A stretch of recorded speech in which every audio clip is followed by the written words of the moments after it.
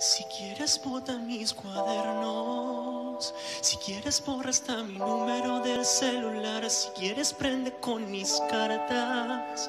Una fogata a ver si logras calentar lo que no pude con mis besos y los abrazos que nunca te supe dar. Pasamos de decirte amo a no poder decirnos sola cómo estás,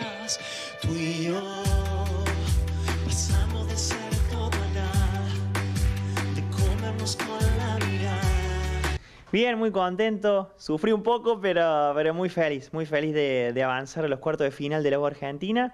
Así que bueno, otro, otro pasito más en el programa. ¿Pensaste ayer en algún momento que te podías volver a casa?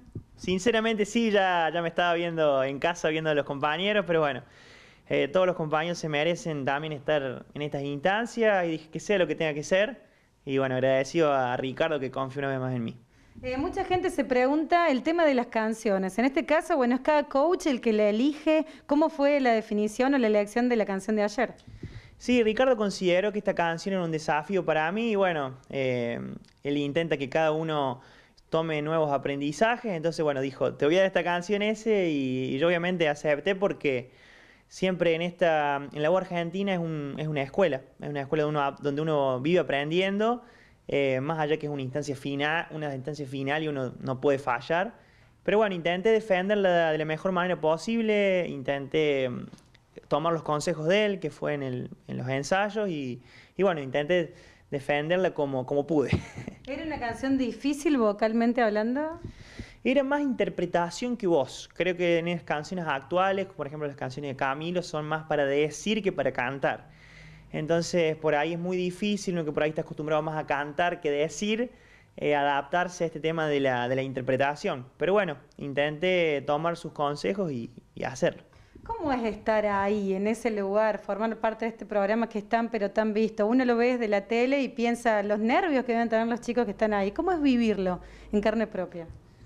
Es mucho, mucho nervio, la verdad que uno por ahí se va adaptando a medida que van pasando los programas, que va pasando las emisiones, pero Em, obviamente antes de cantar siempre uno intenta relajarse un poco, vocalizar, trato de concentrarse en lo que uno va a hacer. Obviamente el ensayo es fundamental para que a la hora de que las cámaras se prendan uno intente dar lo mejor y que del otro lado llegue. Eh, pero sí, si los nervios son, terminas tensionado mal, eh, necesitas después ir a un kinesiólogo que te saquen un poco algunos masajes porque realmente es mucha tensión, pero bueno, es la tensión de la linda. ¿A partir de ahora qué? ¿Qué viene a partir de ahora en La Voz?